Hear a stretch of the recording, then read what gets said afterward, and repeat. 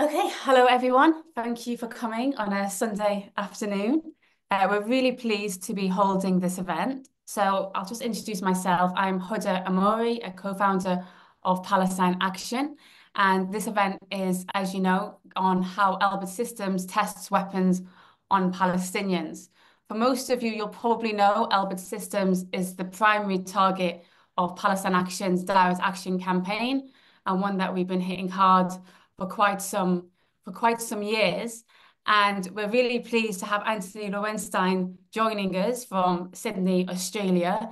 And um, he came out with a book on the Palestine Laboratory, how Israel exports the technology of occupation around the world, which is a very uh, fitting topic, especially in the context of the current genocide. It was a best-selling uh, book, and we actually wanted to do this event for quite some time, but I think um, it's not been a more uh, suitable moment to have this conversation. He's also an independent freelance investigative journalist and a filmmaker and the co-founder of Declassified Australia. And we're really honoured to have you and to learn yeah. uh, from, from, from your research and what you have uh, written about and your expertise. Thank you so much for having me. Great. Okay, so just to begin, would you can you hmm. tell me a bit about what got you? I mean, I'm yeah, quite a big uh, answer, but what got you involved with Palestine and what brought you in into this um into the wider movement? So yeah, the, look, the best, the short way to say I was, I'm born, I'm from Australia. I'm Jewish. I was brought up in a pretty traditional, not conservative, but traditional Jewish home, which generally meant in the past, and I think I fear too much still today, to support Israel. It wasn't, you know, beaten into me, but the idea of supporting Israel was seen as a pretty normal thing to do. Because of my background, because of most of my family were killed in the Holocaust, it was seen as logical to support Israel. And as years went on until when I got into my teens, I started feeling. I mean, I think now, if I look back, I don't think I ever had met a Palestinian until my 20s.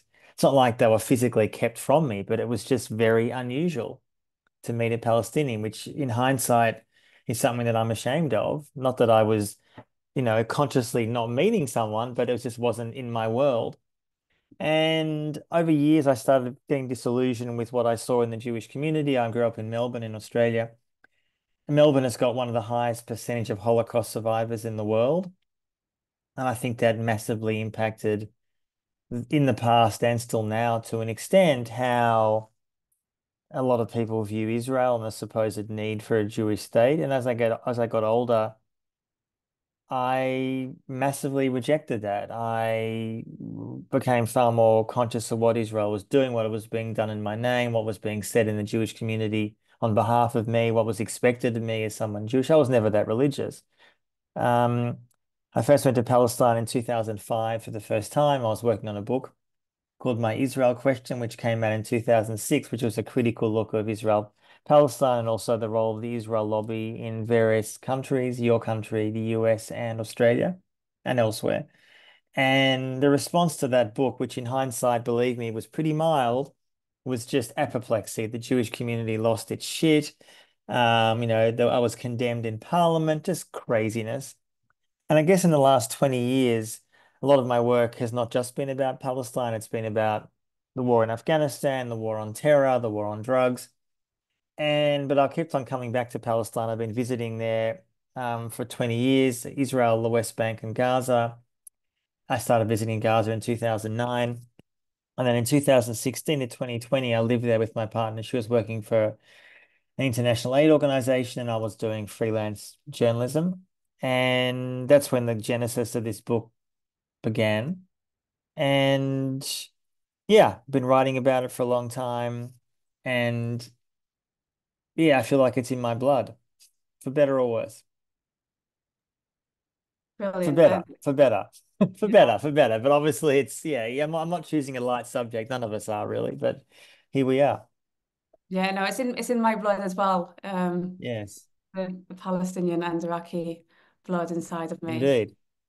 Um, so one of the so obviously you've seen kind of what we've been doing a bit in England. Mm. We have quite a few Israeli weapons factories. More Mhm. so, we have the main target of ours is Elbit Systems because they have a Mhm. lot more factories. Um, then, but we also have Rafael, which I believe is a government-owned Israeli weapons uh, company who are in Newcastle, up north in England. Uh, that's, Yep. that's a relatively recent development, actually, in the past couple of years.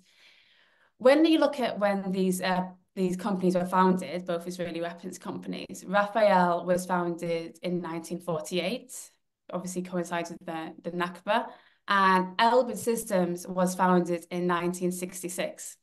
Yep. Um, my own family, um, my my father, when he was a child, he was forced out of his home um, by the Israeli military who were shooting bullets into the windows of their home at the time, as were many others during uh, 1967. So I was just wondering if you could maybe explain a bit more about the significance of these companies being founded around that time and what that and um, what that meant mm. for the Israeli arms industry, but also the Palestinians. Look, one of the things that came out very clearly in my book is that pretty much from the beginning, 48, the Nakba, of course, but also the establishment of Israel, Israeli leaders saw the need, in their view, for an, an arms industry, uh, the need to basically to make friends. I mean, I would say transactional friendships. And this was beginning in the 50s, although the late 40s, but especially the 50s. The first major arms deal was in the 50s with then West Germany, obviously only a few years after the Holocaust, which is a very contentious deal. It really accelerated, though, in the 60s, particularly. And it coincided with the 67 war, the beginning of the occupation, obviously, the West Bank, Gaza, East Jerusalem, and the Golan Heights. And it was there was a realization, I have these in the book, there was a realization among some in the Israeli diplomatic and military corps that putting aside the ideologues who obviously believe that it was their God-given right to settle the land, putting those people aside for a minute, there was an awareness that a lot of the world didn't like what Israel was doing. They saw it as colonialism. They saw it as an occupation. They wanted Israel to give back the land. And they saw, though, the arms industry, not just selling weapons, but also training and advice as something that they could leverage to make friends. And as I show in the book, there is this unbelievable acceleration from the late 60s pretty much to this day. So 50, what is that, 56, seven years of partnering with pretty much, if you think of, and this is probably also why I wrote the book, we know a lot about the role of the US post World War II, partnering, supporting, arming, training the worst regimes on the planet. What's far less known is Israel was often right by their side not to every country, but in many, many cases. So I'm talking about Pinochet's Chile from 73. I'm talking about apartheid South Africa right till the end, till 94. Uh, the regime in Guatemala that was committing genocide in the 80s, the Iranians before 79, in fact, obviously after 79 as well. I mean, there are so many examples. And so Israel was partly making money, but it wasn't just money. It wasn't just, yes, the company Elbit and others were making profits, sure. But in some cases, it was, it was financial, but some cases it was also ideological. So with South Africa during apartheid, yes, there was a massive uh, arms deal, arms deals that were going on between the two countries, but it was more than that. Both countries in that case saw the other as fighting a, a war of freedom against what they regarded as barbarism, blacks in South Africa, Palestinians in Palestine. And you see through these documents I have in the book that both countries saw that their war was a noble war against the enemy, that it was, you know, it was basically us against everybody else. So one of the things that became very clear, let's finish on this point, was that again, it started in the late 40s, but especially after 67, there was this sense that Israel and Israeli generals and trainers and advisors would go around the world openly talking about how they were testing techniques and weapons on Palestinians. It wasn't particularly hidden. I'm not saying it was always put on the front page of the New York Times, but it was it was something that many other countries found appealing, even nations that publicly opposed the occupation. So you look at the list of countries that partnered with Israel, particularly since 67, and the list is unbelievably long. Even some countries that were vocally saying the occupation is terrible. And the reason I mention that is finally, finally, is that I'm really conscious of the fact that there have been a lot of nations that have said they oppose a genocide in Gaza, which is good. But history would suggest that some of those nations will be very keen, despite what's happened since October 7, to still potentially buy Israeli weapons, many of which are being tested in Gaza as we speak.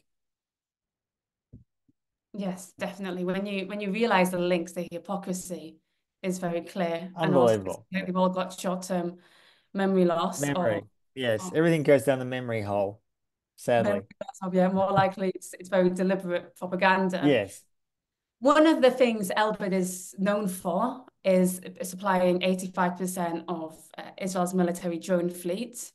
We see drones constantly being used in Gaza, inc but increasingly yeah. now in the West Bank as well. Uh, can you explain a bit about um, Elbit's role with the drone fleet and why Israel mm. and the Israeli arms trade has become infamous basically for for supply of drones? Yeah, I mean, drones obviously have been used by a long time. There even an early drone use in the Vietnam War. That was obviously by the Americans, not the Israelis. But where, where Israel really started massively using drones was in the Lebanon War in the early 80s. Obviously, an early iteration, not that sophisticated, and to the point where you have the US CIA, I have this in the book, writing memos internally, which have since been declassified saying how they really think that Israel's pioneering this important technology and they worry that it's going to go into the wrong hands. Wrong hands meaning enemies of the US and Israel. This is what they worried at the time. So Israel, with an act, with a a, a captive population in Palestine, along with, of course, massive drone use over Lebanon. I mean, obviously, Israel occupied parts of Lebanon until, till, till, until 2000.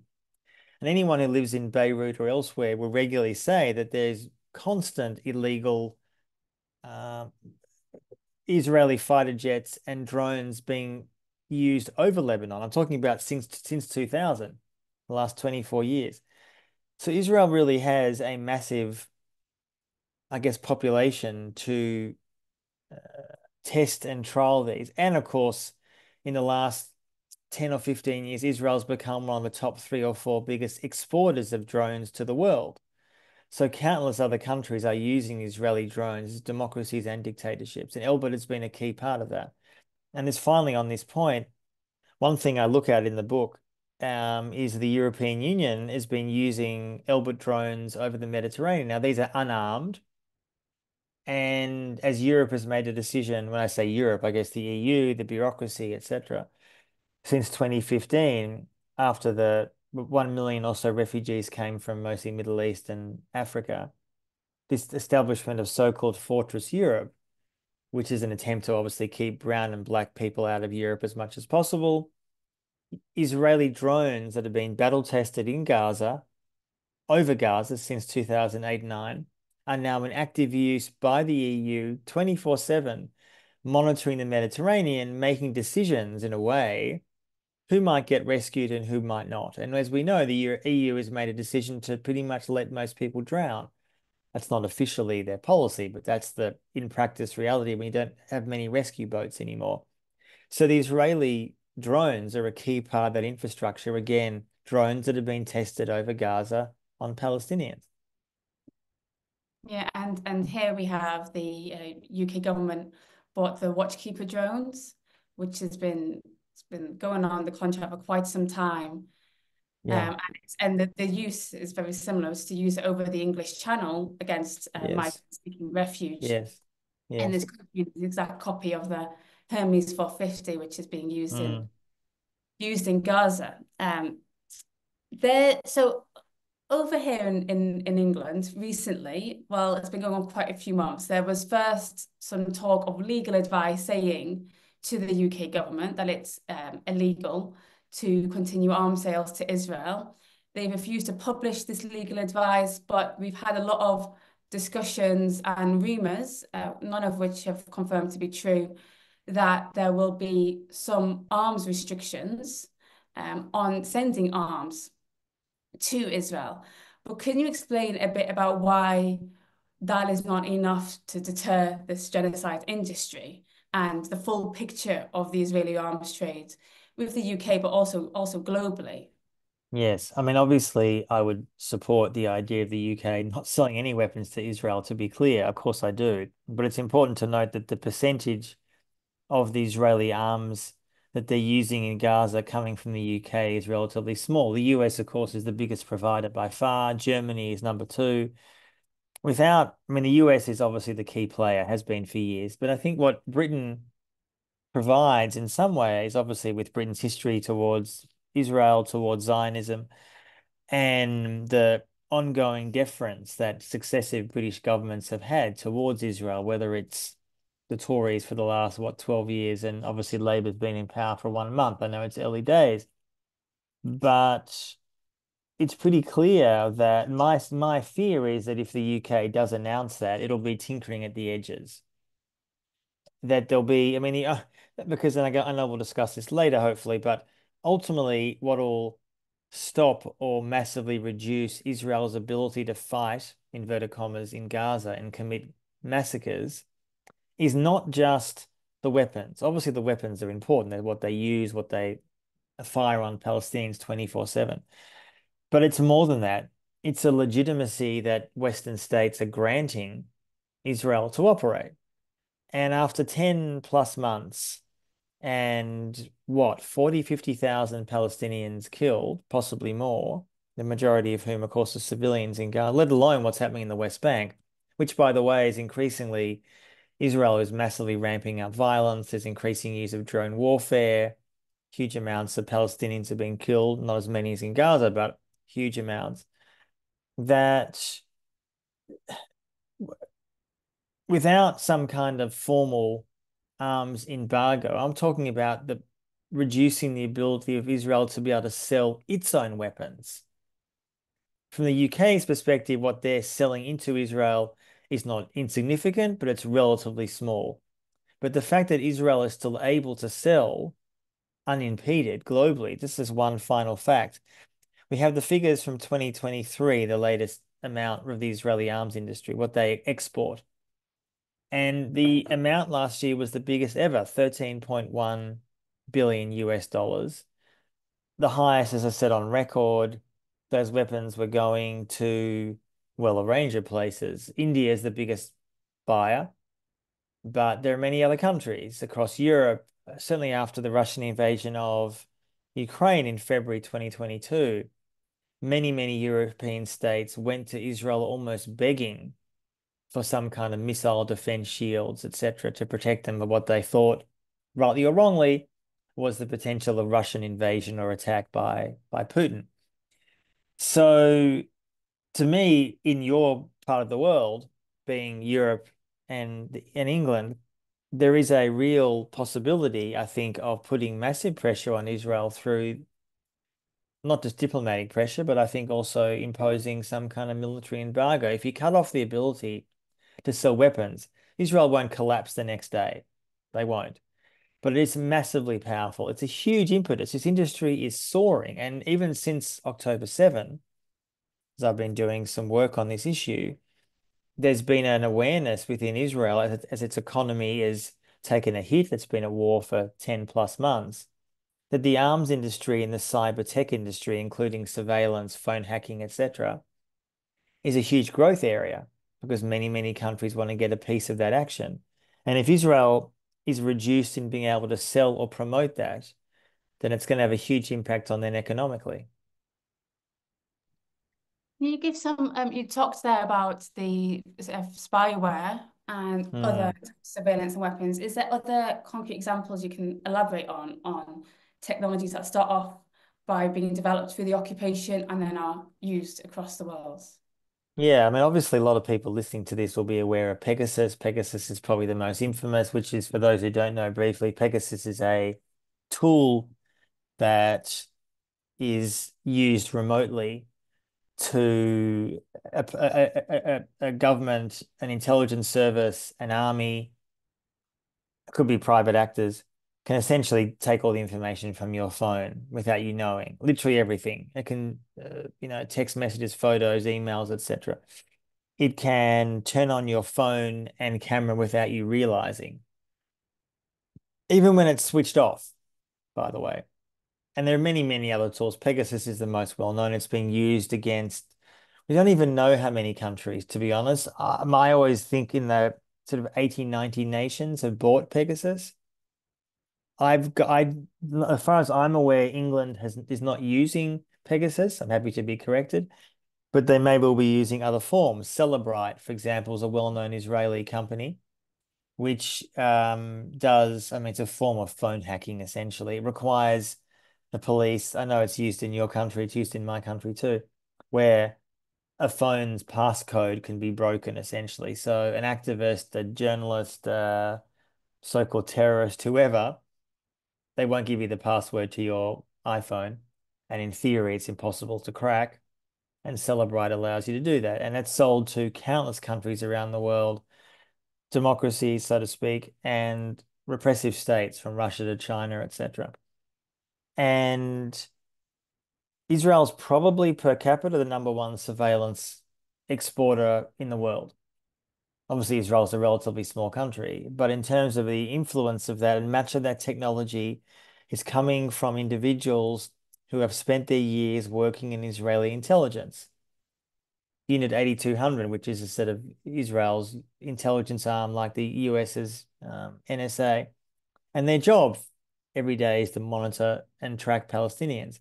They take that experience into the private sector to, to build things like Pegasus and other tools. And despite all the controversy in the last four or five years since all the scandals around Pegasus, there is still no regulation anywhere. Zero.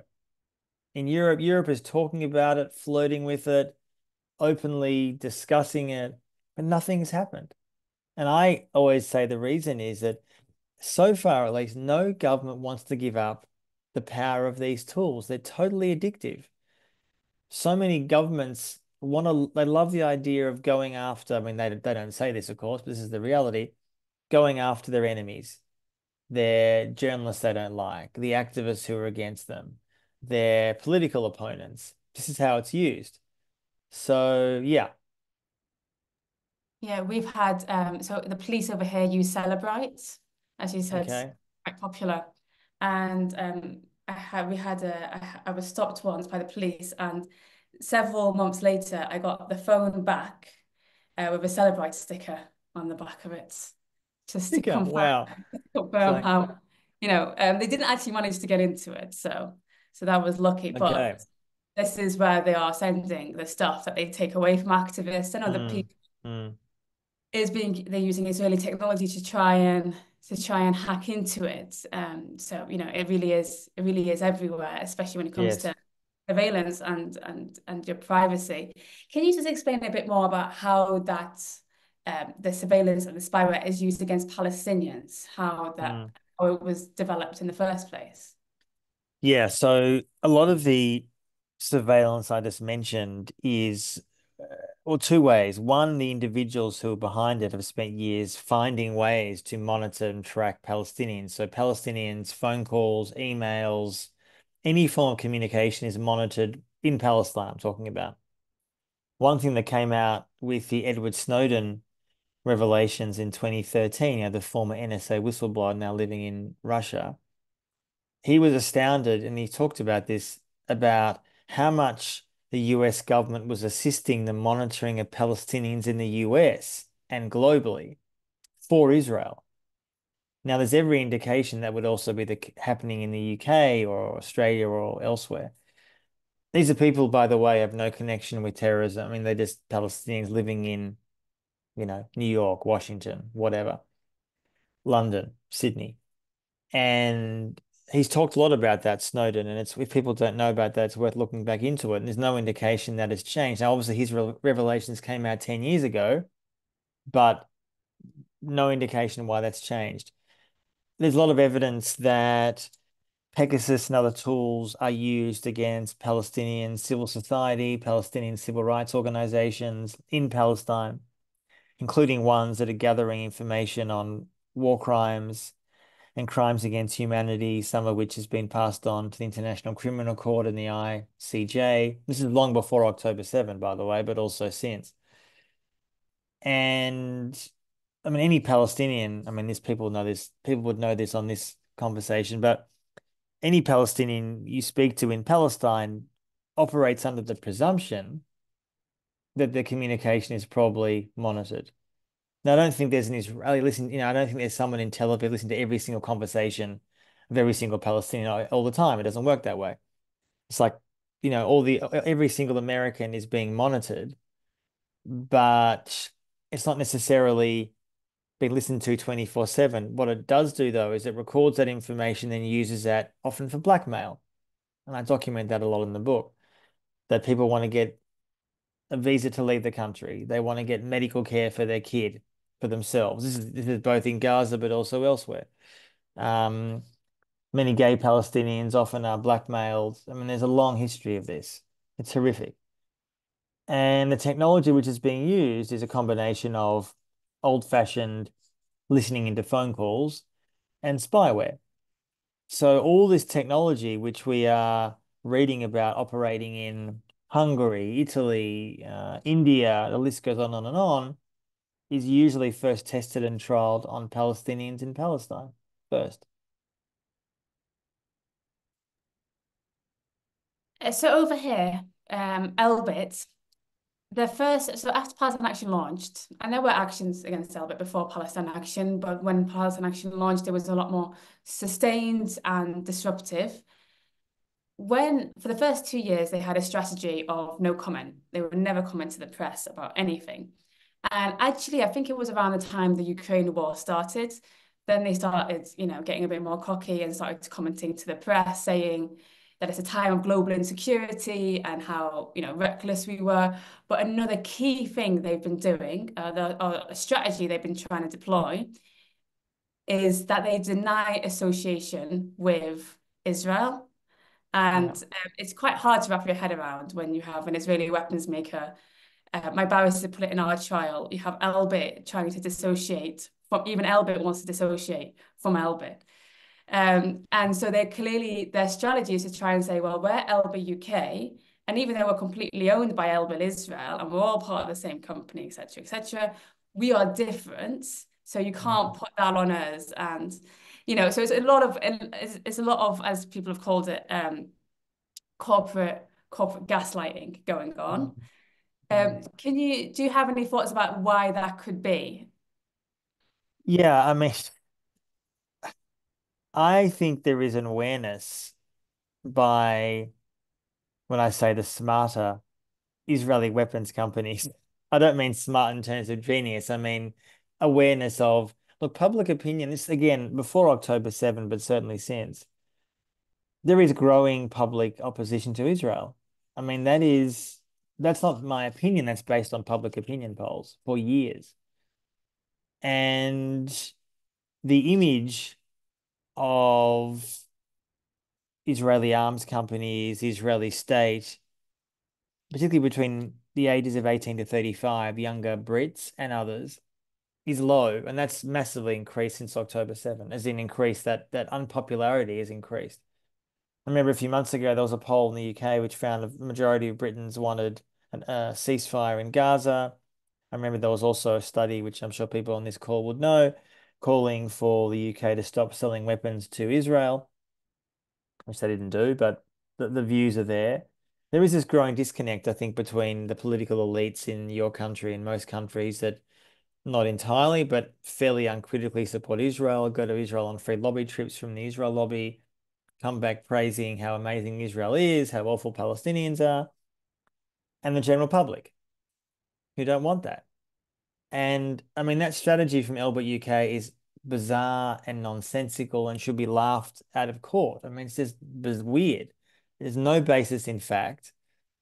And I can only think that they hope that some stupid people in the press will buy it, but it's hard to see how they would. I mean, it's just it's ridiculous. So yeah, I mean that's my guess that there's a growing awareness that public opinion is shifting against Israel, and that's been clear now for a good five to seven years, and it's hugely increased since October 7.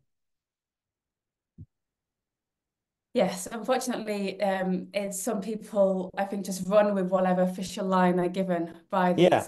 manufacturers and and don't challenge it. Um, but it is it is interesting to say the least that they have deployed this strategy more and more. And also, I guess just circling back a bit to what we were talking about, the arms restrictions to Israel, which of course any restrictions would be welcome. But one thing we see here as well is how Elbit abused the export license um, applications and process by one, trying to make it as difficult as possible for us to get the full picture of their export licenses to Israel. And we do have evidence that they are exporting to Israel um, directly. But what they also do a lot of is send to Elbit companies in Israel rather than send it directly to the Israeli military so they can deny knowing how the products are used you know, and, yeah. the final destination is. And you can imagine that any partial arms restrictions to Israel will allow them to continue using this. Yes. These types of loopholes. But obviously, as you said, it doesn't account for the fact that, you know, the huge industry of buying these weapons, which are first tested on Palestine. Mm. What's interesting. Go on, go on. No, no, no, no. You go on. You go on. So the, they had a recent AGM and uh, thankfully they translated it into English and put it on YouTube and it was posted in March. And this is them in Israel. It's the CEO, the um, talking to his investors. And it's very interesting because them and Elbit Israel are very much more open to how connected they are to the Israeli military and to the mm. situation in Gaza and how every you know, Elbit is one big family basically across the world. They're very open about saying that, completely different to to um, to their stance from Elbit UK. They had on it a, a video, um, and this was played during the last AGM. Um, I just wanted to play it for you and for the audience mm-hmm. and get your get your reaction to it.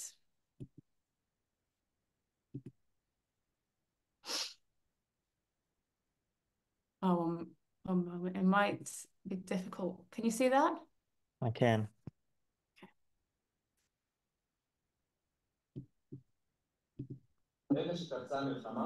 עשיתי שני דברים, זה התקשרתי ליחידת מודיעין שלי, והדבר השני בעצם הגעתי לפה. ואז חטיבות כאלה ואחרות מדברות על מוטיבציה עם רעל בעיניים ועם מדים, זה המדים שלנו כרגע, וזה הגאווה היחידה שלנו. אנחנו היום אה, מגויסים באופן מלא, אנשים עובדים פה ימים כלילות, אנחנו מרגישים שאנחנו חיילים על אזרחי, כי זאת התרומה שלנו ללחימה. אנחנו מספקים תוצרים בזמנים מדהימים, הרבה יכולות מבצעיות נוספות שלא היו. והאתגר הוא באמת לעמוד בקצבים שצה"ל משתמש ושלא אנחנו נעצור את האפקטיביות של צה"ל. אני מקבל אה, אינסוף מצה"ל וחיזוקים, ואנחנו שותפים בהרבה מאוד תחקירים תוך כדי לחימה שמראים איך המערכות שלנו מצילות חיים ומסייעות להכרעת המערכה הזאת. העובדים שיצאו לצו 8 מקבלים את המוצרים שלנו, זה מקפיץ את המוטיבציה, בטירוף. זו גאווה גדולה להיות פעם במקום הזה, גם לראות את האנשים שלנו נלחמים ועובדים, גם לראות את המערכות שלנו. באמת אה, ליבת ההפעלה של התמרון הרב-זרועי של צה"ל. יש לנו פה התחייבויות, ויש לנו מחויבות ללקוח שלנו. לשדר מול העולם את החוסן הארגוני שלנו, להראות שאנחנו מצליחים לעמוד בקצבים, להמשיך לעמוד בספקות, אה, וזה מה שמחבר אותנו כקבוצה, כארגון.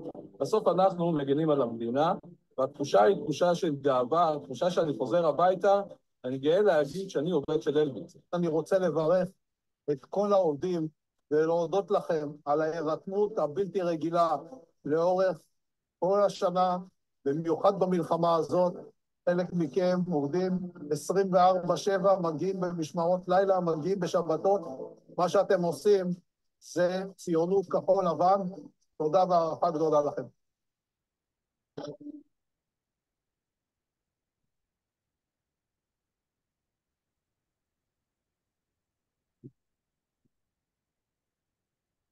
What do you Would you like me to comment on that or? Yeah. Yeah, well, there's a few things about that that come to mind. The first thing is that I'm sure people here know this that um, the last speaker, Yoav Gallant, is wanted by the International Criminal Court for alleged war crimes in Gaza. So that's one minor detail worth saying. Look, it really goes to the heart of so much of what I see looking into the Israeli arms industry that it's framed so often not simply as making money, which obviously it is, it's a patriotic duty.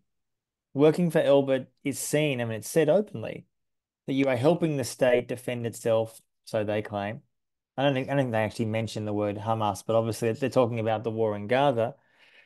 Um, and I think this also goes to the heart of Israel itself is a one of the most militarized societies in the Western world. That obviously, yes, most people serve in the army, men and women. Um, obviously some who don't, but particularly ultra-Orthodox men, but the majority of people do. I'm talking about people, Jews, not talking about Palestinians, of course, or and Elbit really frames itself not just in Israel but globally as an essential part of not just the Israeli war machine, but the Israeli state. Because so much of what Israel relies on and has for decades is an image. On the one hand, it, it, it claims to be a thriving, beautiful democracy for all its citizens, which of course is bullshit, but that's what they say. On the other hand, it's the kind of country that if you screw with us, we're going to kill you. So it's almost like they're trying to portray both both images. And I remember there's a tweet that comes to mind from a few weeks ago, which is worth recalling here that everyone here remembers that a few weeks ago Israel killed one of the Hamas leaders in Tehran the day after they killed a senior Hezbollah leader in Lebanon. And Eylon Levy, who's this very weird British guy, also an Israeli, who was this spokesperson for the Israeli government before he was fired. It's a long, bizarre story. Anyway, he tweeted something, and the words were, and I'm paraphrasing here, not your grandparents' Jews anymore. Now, what he meant by that is a very interesting point, which goes to the heart of what this industry is about. It's basically, to me, implying the Jews during the Holocaust were lambs to the slaughter. This is what is openly said by early Zionists. When Israel was founded, often Holocaust survivors, Holocaust survivors were criticized for not putting up more of a fight against the Germans. That was the argument. Now you fast forward 80 odd years, and now there is this celebration, this um, belief that we as Israel have an amazing arms industry. We can kill anyone we want anywhere. But the great irony, and I say this as someone Jewish, is none of this is bring them security. In fact, it's the opposite. It's the exact opposite of that. That you can have all the weapons in the world, and yes, you have a very sophisticated army. All that's true, but it's not bringing you safety or security. So I see that video, and though it's a long explanation, but I see that video as part of all that in a way. And for a lot of Israelis, at least, and many Jews around the world, they watch that video with pride.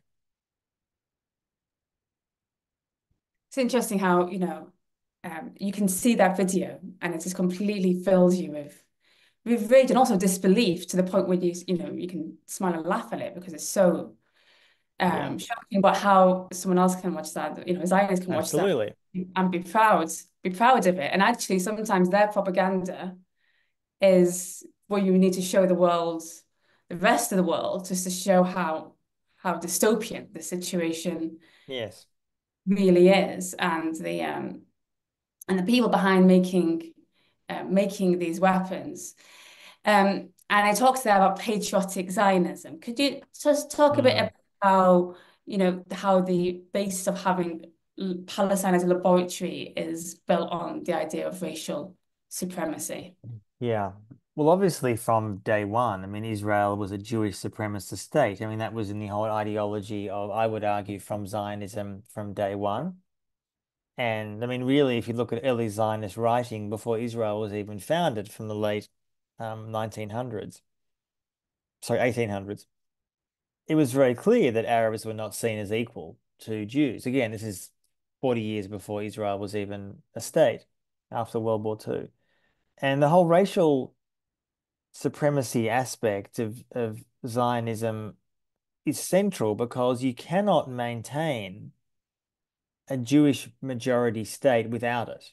You cannot run an occupation in the West Bank, Gaza, East Jerusalem, and elsewhere for 50 plus years without a deep belief, which comes from a young age. Again, I again I grew up in Australia, but the hatred and contempt that one is taught in mainstream Jewish community life, not everybody, but many, the only way you can maintain that system of racial oppression is with that education. It's the only way. That you do not see Palestinians as equal, that really it's a zero-sum game. It's us or them. If they if they don't kill us, we have to kill them first. And the occupation relies on that perpetuation through, yes, military means, of course, but it's more than that. It's the way that Israeli mainstream society, as I've been saying for years now, Israeli society itself has been radicalized. Talking about Jewish society. Not every Israeli, of course, there are some who don't support this, but again, not my opinion, sizable proportions of the population, according to public opinion polls for years. I remember I have a quote in my book from 2016 that pretty much then half of Israeli Jews supported essentially forced ethnic cleansing of Palestinians. This was nearly 10 years ago. There's been polls since October 7 supporting a vast majority of Israeli Jews supporting mass ethnic cleansing of Palestinians to God knows where. Jordan, Egypt, who knows? And this is why often, as I've also said for a long time, that the Western obsession with Netanyahu is misplaced. He's a terrible human being. He should be in The Hague. There's no sympathy for him. But it's misplaced to believe that somehow replacing him or if he falls as prime minister, situation will change. He often says, frankly, correctly, you might not like me, but my policies are popular. He's absolutely correct. Now, there are obviously people in Israel who oppose what he stands for. Of course, there are. Since October 7 and before. But the majority of Israelis for months have wanted the war to continue. The likely replacements, Netanyahu, have very similar views to him on Jewish supremacy, keeping the occupation alive. The problem is not Netanyahu. He's a symptom of a much broader problem. And I think in some ways, the last 10 months, finally, I think many people around the world have been clarifying because all of us have seen these insane TikTok videos of Israeli soldiers in Gaza uh, mocking Palestinians, torturing Palestinians, wearing, you know, Palestinian women's underwear, mock, you know, essentially that ritual humiliation I think for a lot of people globally has been very clar clarifying and saying this is not simply a few bad apples in the military. Every military has got bad apples. This is symptomatic of a much deeper rot, which is because Israel has enjoyed impunity for so long, why would they stop? Why would they stop? Now you could say because it's the right thing to do, and that's that's obviously true. But if you don't pay an economic price for your crimes, like apartheid South Africa did not do for most of its history until at the end, you won't change your behavior. And that's why, without economic pain, Israel, in my view, will not change. Because the change won't come from within. Definitely. And I, I think something, I mean, we've seen this over the years, but something that's been very clear after, you know, from October 8th is this campaign of dehumanizing Palestinians yes. to the where people are, you know, a lot of people aren't, but um, a lot of people are desensitized to to it. Um, you know, the mainstream media, we had a lot here of um, soon after October 7th of them pulling up pictures of Palestinian children. I think it was on one of the papers, the, um, a huge picture of Palestinian children being killed under the title talking about Israelis um, being killed. So, you know, this kind of um, there was so much of it, especially right after, you know, the first couple of months after mm. October 7th, it was constant, this the campaign of dehumanization. And now we're at a point where, you know, they were obviously manufacturing consent for the genocide, which Absolutely. is now 10 months, um, we're now 10 months into. And uh, just talking about specifically, you know, after October 8th, you know, one of the things that the um, the Elbit CEO said in the recent AGM in March was that for when they get contracts with other countries, other governments in other countries, they want to know that it's first been used by the Israeli military. Is yes. there examples of um, either new weaponry or technologies, or how are we seeing the kind of the, the Palestine laboratory of Gaza being played out um, as we speak? You mean since October 7? Yes. Yeah. Well, yes, the short answer is yes. So there's a few examples worth saying. One, there's been a number of global arms fairs that take place all the time, but there's been two major ones or three major ones in the last 10 months. Uh, Paris late last year, Singapore a few months ago in my part of the world, and a few other ones in your country, UK. And there's been a lot of Israeli companies exhibiting at those places, literally talking about battle-tested weapons that have been used in Gaza. That's their words, not even mine. I'm not making this up. I mean, th this is where there is a appetite for that kind of technology. What has Israel been testing in Gaza? Well, a few things. Um, a range of more sophisticated quadcopters, essentially, which are killer drones. Huge amounts of evidence of Palestinians being killed in that way. There's examples of um, how best to describe this. Basically, drones putting out sounds of crying children in communities. People come out to look. They're thinking this is strange, not realizing it's a drone, and then and then and then they get killed. There's been multiple eyewitness examples of this in Gaza in the last months there has been huge amounts of use of white phosphorus, which obviously is not a new weapon, but white phosphorus is being used. There's use of robot dogs, which are being developed by both American and Israeli companies.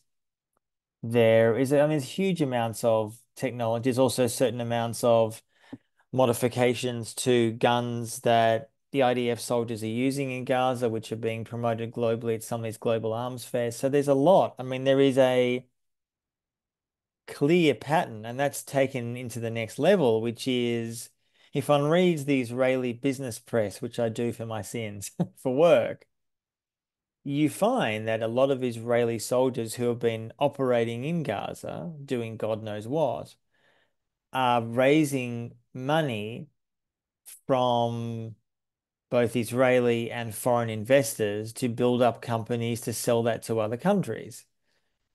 And a lot of that money is more and more coming in from Silicon Valley in the US, who obviously are sympathetic to the cause. I'm not saying everybody there, but enough, huge amounts of money. And it's not, again, that is framed often in that support as you're doing a patriotic service. We are economically struggling a bit now because of the war. So the argument goes in Israel, come and support us financially, invest in my company, whatever it may be.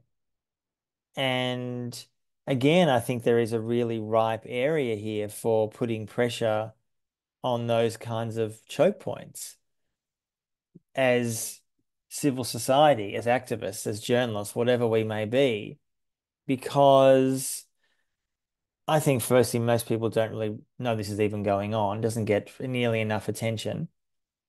And, you know, I've seen, I guess we'll get to questions shortly, but, you know, how does this operate? How does, how, how you know, I mean, how does this potentially work? Well, a, a growing global movement of BDS. I mean, it's the, it is the only way. I think I'm not saying it's the sole way, but it's the only way that there needs to be an economic price paid. I mean, there's examples of certain countries since October 7 pledging to not buy any more Israeli weapons. That needs to last including states like Colombia. Now, Colombia is run by a nominally left-wing government. It's not a major global power, of course, but I would want to make sure that states like that hold to their word because history would suggest that not particularly Colombia, but many of these states do not. The issue dies down, people move on. There's a long history as one example between Israel and Colombia, just using that example. So yes, I mean, lots of weapons are being tested in Gaza. And finally, finally, the US, a number of US companies are also testing in Gaza too, as they are in Ukraine. These places are open testing grounds.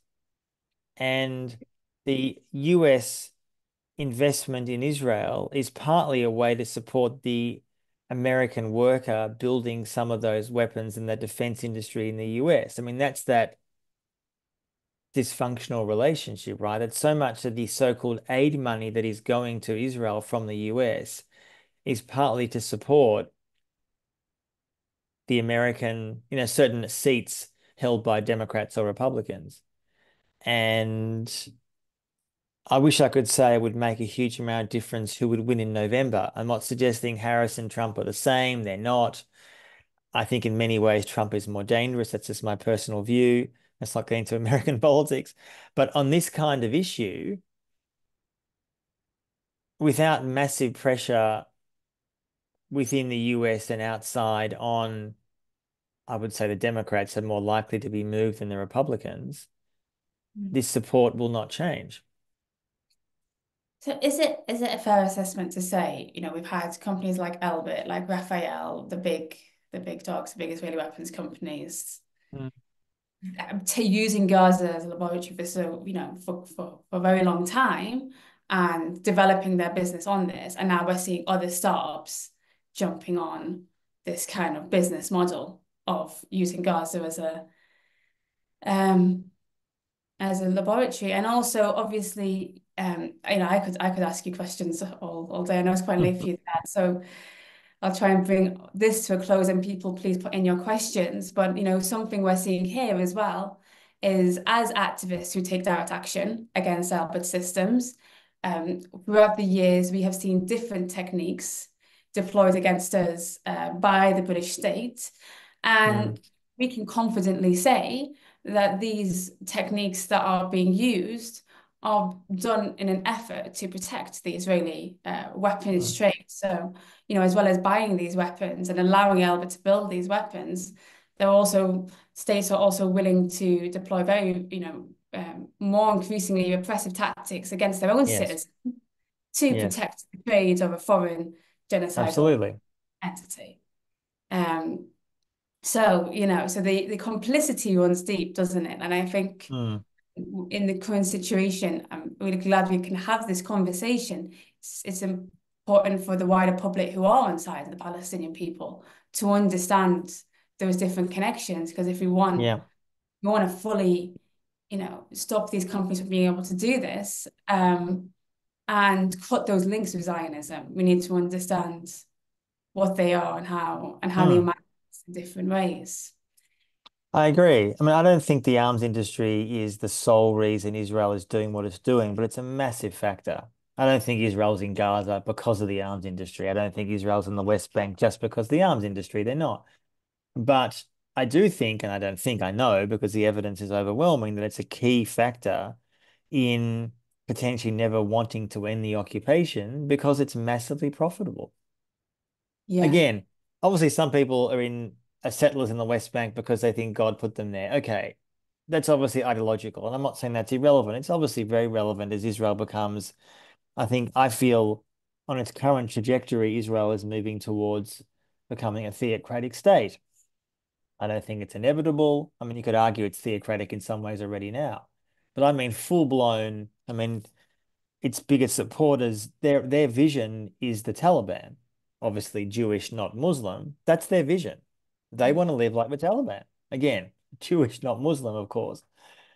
And that's not all Israelis, but the direction that country's going in, in my view, is more and more looking to be like that. And the arms industry and the defense sector and the high tech sector, many of whom do not share those views, by the way, it's hard to generalize, but many times they do not do increasingly view the defense sector as one way to patriotically support Israel and are willing to overlook the more, frankly, blatant ways that those tools are being used, not just on Palestinians, but globally. I mean, I have this in the book, so many examples that I think if you often ask many Israelis, are you aware of where all these tools of repression are ending up?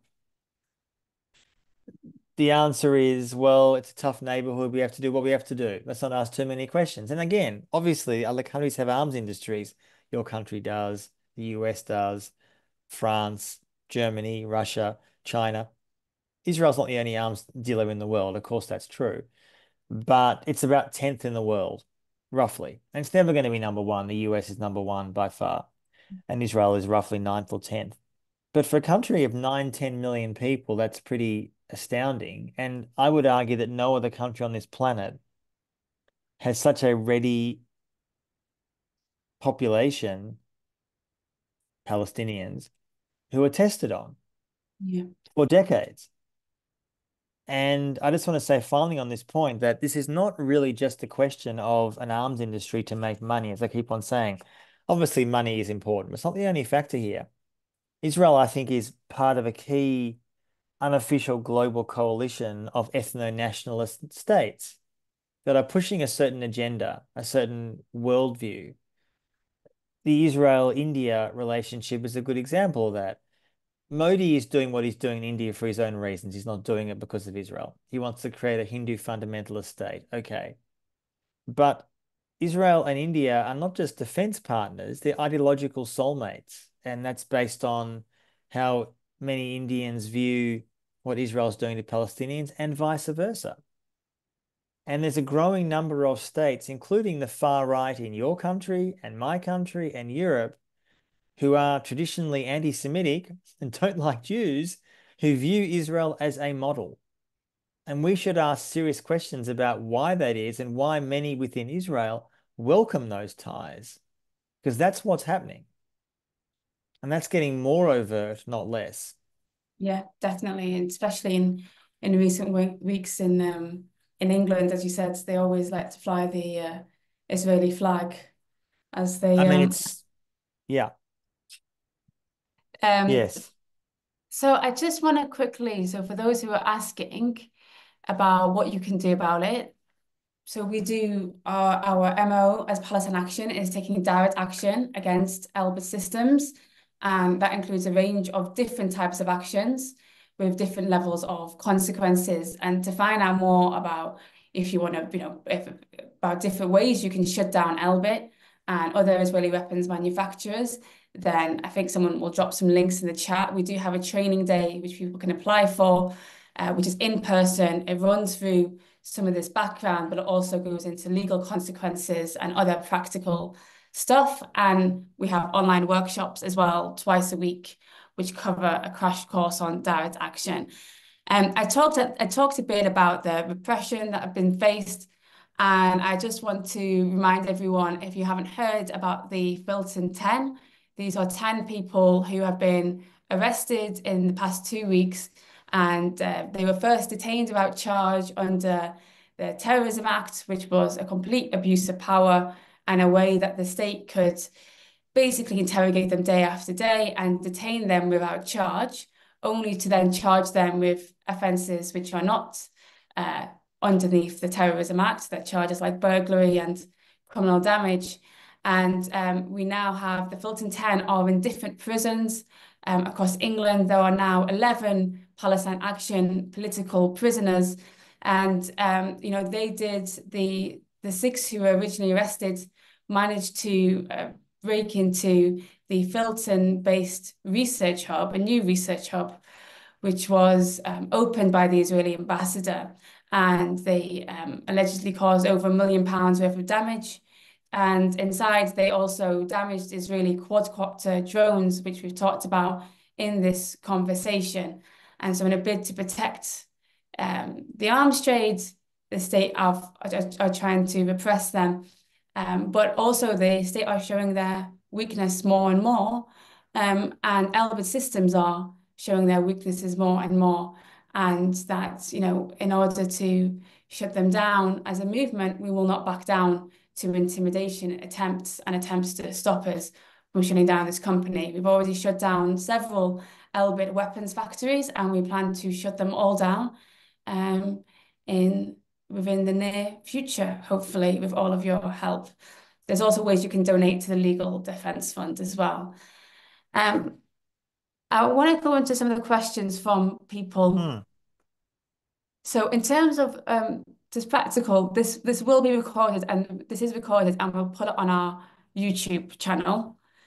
Um, okay, so I just saw someone say, What's the title of my recent book? It's called The Palestine Laboratory. You can Google it, it's everywhere. You should buy 20 copies each. I'll shut up. brilliant. Okay, so someone asked, I often hear a defense of Elbit UK is that they Mm-hmm. serve the national defense of the country. Um, so so that's a, the statement, and the question is, could you tell us how deep the connection between Elbit and the UK military are? Do you, Do you have general comments on that? Well, yeah, I mean, unbelievably close. I mean, you have footage for years, long before October 7, of Elbit officials, uh, you know, appearing with government ministers. I mean, they're incredibly close. Israel is a huge purchaser of Elbit equipment, but in, obviously Elbit also sells to many states around the world. And it's also worth saying that what Israel is trying to do more and more since October 7 is to produce a lot more weapons within Israel itself. Obviously, they produce some already, but the vast bulk of weapons that Israel's using in Gaza is coming from, as I said, two countries, the US and Germany.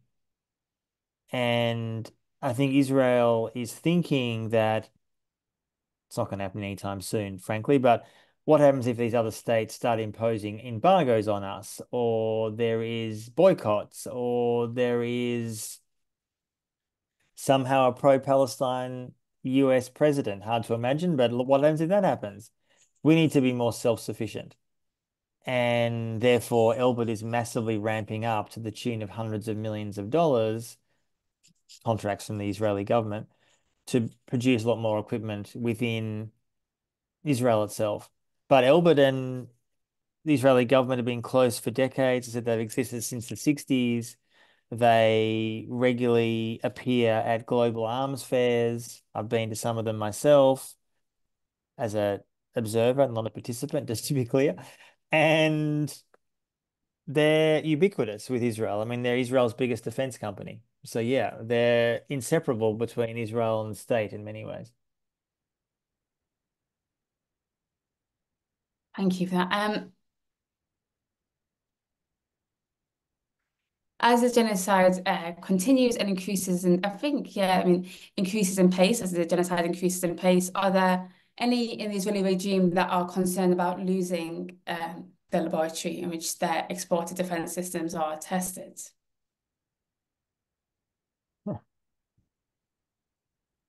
I mean, the short answer is there are a growing number of Israelis who are worried about being potentially arrested and charged. Now, one might say that seems quite far-fetched. I'm talking about either from the ICC, which at the moment is, as we are looking for arrest warrants for two Israeli leaders, and I think it's three Hamas leaders. I think I think it was actually Haniya who's now been killed. So I guess two Hamas leaders and two Israeli leaders.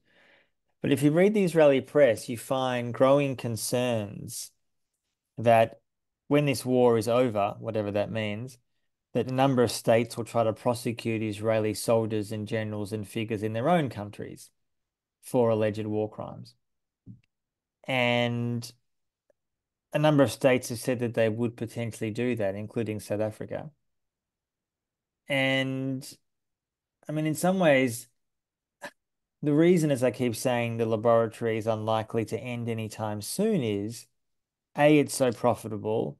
And B, I think also, I didn't mention this before, but it's worth saying. I think the laboratory also, Israel feels like it gives it an insurance policy. And what I mean by that is that as there's a growing likelihood, this was happening before October 7, but certainly since, a growing likelihood of some form of sanctions, boycotts, divestments, not from everywhere, but from certain states, certain institutions, that Israel has felt for years that selling weapons to so many countries will insulate it from economic pain. And so far, at least, that has been relatively true until this point. Yes, there's been obviously boycott, divestment, sanctions since 2005. It's had undoubted successes, some setbacks as well.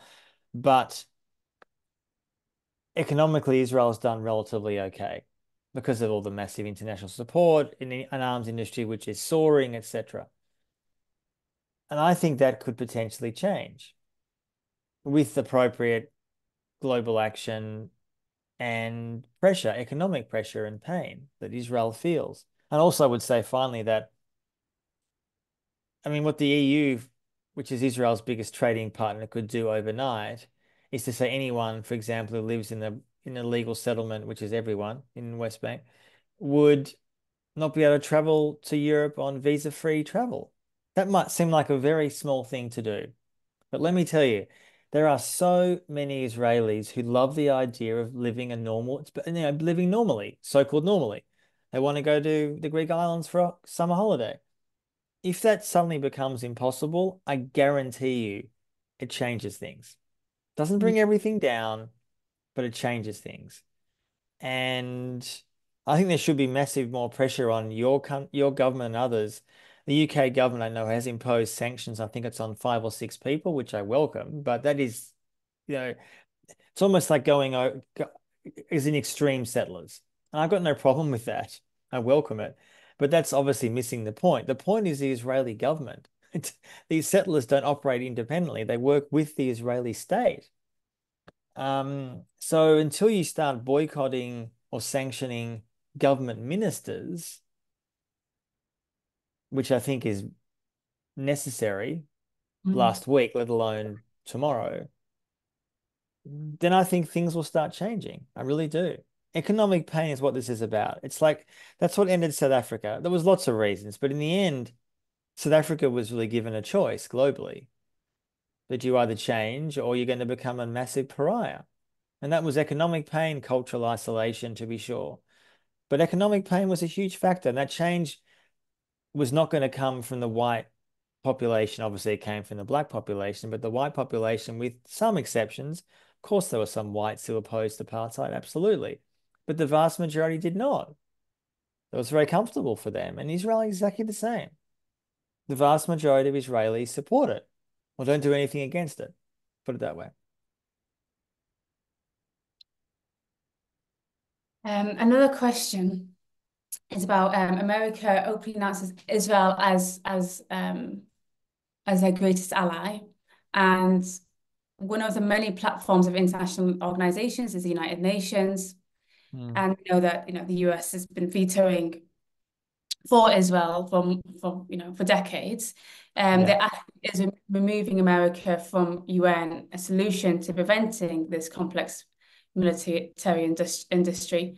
And also, I want to we haven't haven't checked on this in you know the past year or so, but a couple of years ago we did find that there was a contract with the UN for Elbit Hermes 900 drones, I believe, for peacekeeping missions. So I've again, got some of stuff in my book. Yeah. yeah. I mean, the UN, the UN has made deals with lots of Israeli companies, defense mm-hmm. companies. Yeah. So there's Go that figure.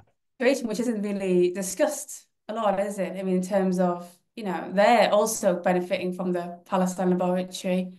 Um, Absolutely. So yeah, do you want Yeah, I mean the quick um I mean I I guess my answer to that is a bit roundabout, which is essentially saying that I've long been disappointed with how few non-Western states have really tried to isolate Israel. Of course, there are some who do. I mean, let's look at the Arab world, for example. I mean, as we know, I'm not talking about Arab people. I'm talking about Arab leadership, so-called leadership. Find me an Arab state that is seriously, I mean, not one Arab country has cut ties with Israel since October 7, not one. And I'm telling you they won't. Not one. I'm not talking about Arabs protesting. They're talking about Arab leaders. Not one. Hmm. Why? Well, because they want to be close to the US. They like being friends with Israel. They want to get, I mean, as I talk about in the book, in the last five or so years, five ten years, all the a lot of the Arab states have got huge amounts of Israeli surveillance tech and repressive uh, technology. They want to they want to get the experience of Israel surveilling Palestinians and use that to repress their own people in Saudi, Oman, Bahrain, mm. Jordan, Egypt. The list goes on. Morocco. Um, and I'm not saying that there aren't Arabs in those countries who are protesting. They are, in obviously very, very, very difficult circumstances. I'm under no illusion about that at all. Um, but I've long thought that there are many other states within the UN system that could do far more. What country always comes to mind is Indonesia. Indonesia is the biggest Muslim country in the world. It's a neighbor of me here in Australia. Ridiculously weak on this, in my view. Ridiculously weak. I'm not saying they support Israel, but where is that attempt to try to build that global momentum to mm. to isolate Israel? I don't see it. Also, with the recent change in Brazil, um, I, I don't know if you have any comments on that because obviously there's been recent changes. Did you say Brazil? Did you say Brazil? Brazil, Brazil, Brazil. Yeah, yeah. the recent changes politically, um, but obviously they are still buying and hosting Elbit systems. There have been people there protesting against that over there, but yeah, the actions aren't really matching the the words, are they?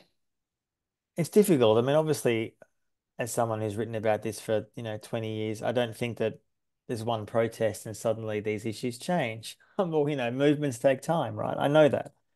But if there's not going to be a growing and sustained global movement after the last 10 months, there never will be. I mean, how much worse does it need to get in Palestine? I mean, it cannot get, as I've been saying for months now, what's happening now is worse than 1948. I mean, we are on a whole different scale of horrors to me. I mean, there's just no, this is not even a comparison. I mean, 48 obviously was horrific, of course, but in any assessment, what's happening now is far worse, far more displacement, far more death. I mean, just horrific. And we have now the ability through technology and global connections in a way to to build those alliances more so to try to put pressure on these companies in various countries because they what they crave is legitimacy. That's what they crave, mm. publicly or privately. And too often our leaders give it to them. Yeah. In the global south too. As I said, this is not just an issue in the US, UK, Australia, France, Germany, which are all terrible as we know. As I document in the book, this is often happening in many other countries in the global south too that have partnered with Israel maybe more quietly mm-hmm. sometimes, mm. um, including the ones you mentioned Brazil, Colombia, and others. I mean, just as an example, briefly, Mexico in the last five years has on paper had a left wing government. Mm. They're still using Pegasus obsessively. I mean, you know, ultimately, left wing, right wing, I'm not saying left wing and right wing is the same thing. I'm well aware they're very different. But in terms of these issues, there is often bipartisanship, I guess is what I'm saying. Yeah. Um, there's another question here, which I think circles back to what I was saying about Elbit UK propaganda. Um, they asked how close are Elbit UK and Elbit HQ in Israel? Um, are the companies grouped together and share profit, or are they kept separate? If a financial hit is experienced in the UK, part is part of that felt in Elbit Israel. So just mm. to practically answer, Elbit UK is completely owned by Elbit Israel. So they are subsidiaries of one another, but essentially they're all part of the same Elbit group. And they openly say that and brag about it in Israel. But over here, suddenly there's a very important distinction. Yes. Um, could you maybe comment about um, the, the the economics of it, about how and uh, about how integral maybe Elbit's global business is to maintaining their Palestine laboratory and their business overall?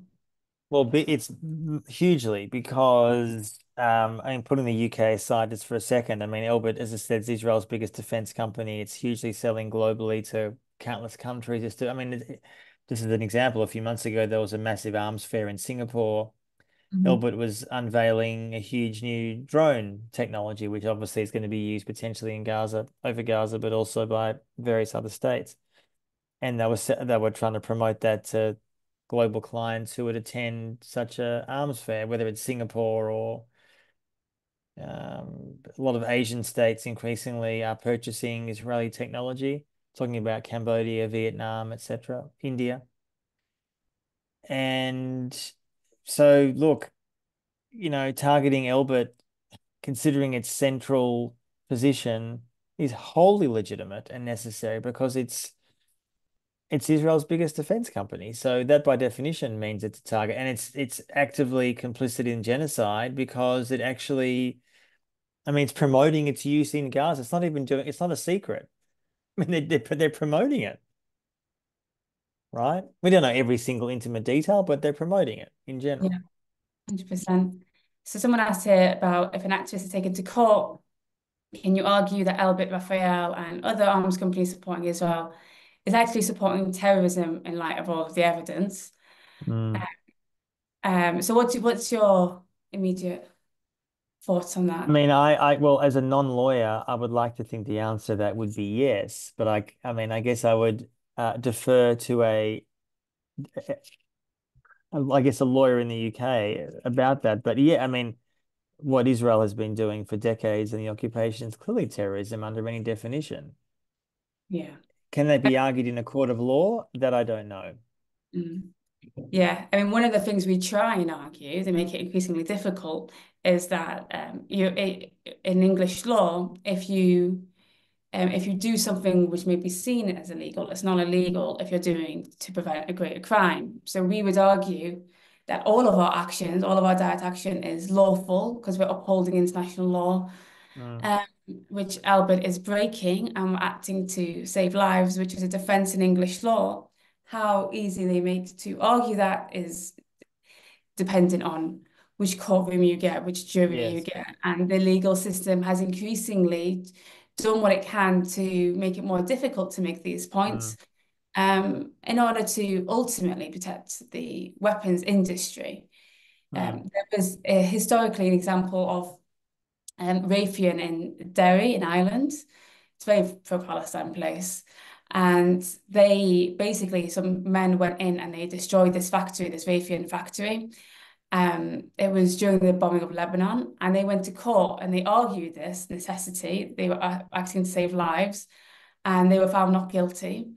And then nine women did a similar action, and they were found not guilty. And obviously, then the factory left after that. They shut up. They shut. They shut down, and it was pretty stupid to be in Derry in the first place, to be honest. But yeah, they don't normally think about these things. Um, but I think part of it was that they didn't have the legal protection or that there was no nothing stopping people from doing it because in the eyes of the law, you're being found not guilty, what you're doing is is lawful. So there's obviously an mm. attempt to try and create more of a deterrence against it over here. But I think what motivates us, what motivates us to keep going is um, is the genocide and Elbit's actions and um, com- you know the comparison of of um, of what the consequences are of these weapons to the people in mm. Gaza and this weapons mm. industry. Absolutely. and to countless other countries around the world that have suffered under Elbit yes technology too. Yeah, definitely. I mean, one of the um one of the things you talked about was Germany.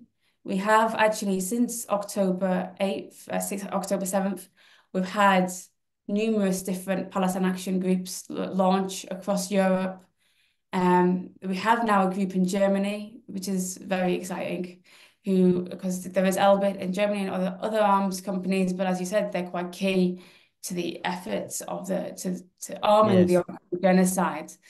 Um, we do have actually an event on that later today to hear from people in Italy, uh, Netherlands, Austria, Germany, France, and other places now who are taking mm. action. So the you know the, the using the tactic of direct action, I think, has never become more um, necessary. But also, you know, for people, you see what's going on. You see the the reluctance and the governments, global governments, not imposing mm. sanctions and hmm. continuing. Mm. Well, the opposite, in fact yeah, yeah, exactly. And so the option mm. you're left with is often um, direct action. I could keep asking you questions. Honestly, I could be here. We could be here all day, and it's not. It's quite early for us, but I know it's late. Where it is quite are. late. Yeah, it's all right. it's okay. Um, just gonna. Is there is there anything else you would like to? I think we can we can end on those points. I think we. Um, I mean, look, like to add?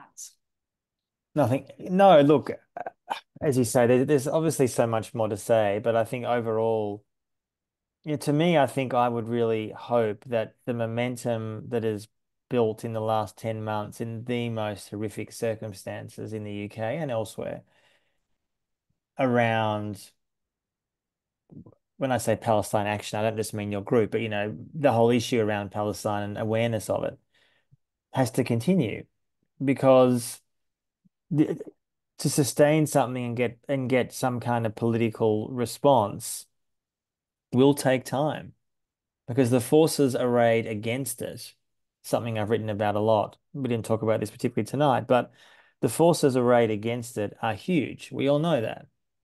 And there is a lot invested in maintaining that status quo, hugely. Uh, I'm not saying it can't be beaten. I don't say that at all. But it's it and there's also I think a growing awareness within Israel and Israel's supporters globally, which I read about regularly, that there is, as you could say, they're losing the PR battle. I mean, you kind of wonder why that'd be the case after 10 months of genocide in Gaza, but nonetheless, there's an awareness of that. And I think there'll be more and more attempts to use lawfare against legitimate actions and criticisms of Israel in Western states. And we can't we aren't going to tolerate politicians doing that bidding. I'm talking about politicians in your country or mine or any other country, really. And I think without regular, I mean, without regularly exposing how many, for example, UK politicians in the Labour Party have been to Israel on free lobby trips in the last five years, uh, which explains so much about all these issues. I honestly think it does. I don't think it explains everything, but it explains a lot. So yeah, my feeling would be, yeah, what else would I say? That spread this information. I'm not just saying what I say, but spread this information as widely as possible because I think a lot of people, I've found this since my book came out 15, 16 months ago, that so many people was not were not aware of those connections about how to explain where how we're in this moment, particularly in relation to Gaza, but more broadly, of the global arms industry is worth over $2 trillion a year. It's arguably the most corrupt industry in the world. People often say that's either the most corrupt or the global drug trade. Take your pick. They're both, you know, industries of death. And it deserves to be ended and challenged in a variety of ways. So I guess I'll leave it at that. Thank you. Thank you so much, Antony. Please let us know in England and we'll take you on a yes. tour it. Yes. I'd, inshallah, that'd be great. Thank you. And thank you so much for having me. Thank you everyone for uh, listening. Yes, I really appreciate it. Thank you.